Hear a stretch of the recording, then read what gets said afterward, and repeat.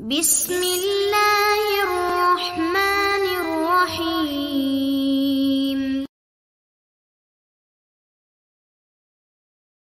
Anger is actually from shaitan. Anger is from shaitan. And the Rasul alayhi salatu wasalam says um, he, he was passing by and subhanallah and he saw two men were in an argument and the argument became so heated one man cursed the other in the presence of Rasul alayhi salatu wasalam subhanallah and one is really cursing the other and his face is so ang- full of anger and red and the Rasul alayhi salatu wasalam said I know one word if he said it this will all calm down أعوذ بالله من الشيطان الرجيم أعوذ بالله من الشيطان الرجيم and he said ألا إن الغضب جمرة في قلب ابن آدم أفما رأيتم إلى حمرة عينه وانتفاخ أوداجه فمن أحس من ذلك بشيء فليلزق بالأرض Look what he said the Rasul عليه الصلاة والسلام and this is in Imam Ahmad he said anger is actually as if there is a hot piece of coal in the heart of Adam, the heart of the human being. Don't you see how his eyes get so red and his face or his cheeks gets red?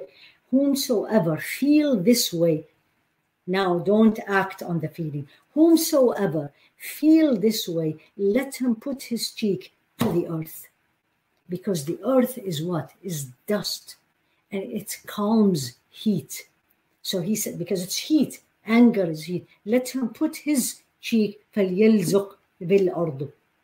And the Rasul alayhi salatu wasalam, another uh, uh, hadith, which is something very similar, same thing. He said it's a heat or a piece of hot coal, uh, um, coal in the heart of the human being. His face will be red. His his uh, eyes will be red. Here he says, if you feel it, sit down. So two things: sit down if you're standing, or if you can, especially if you're alone, you get this text message that gets you very upset, or you hear this news, or this thing happened and you are alone, immediately put your cheeks, put the cheeks on the um, the uh, uh, on the um, or uh, on the earth.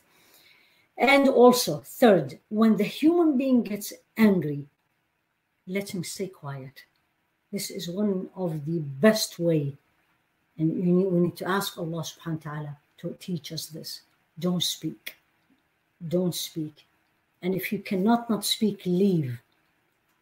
If you are in a situation, in a situation with somebody, and that person, he or she, got you upset and angry, just leave. Don't say a word.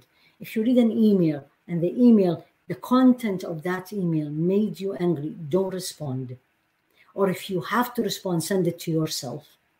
Don't reply, send it to yourself, and then read it in the morning when you are calmer. Don't a text message, either delete that text message or don't respond.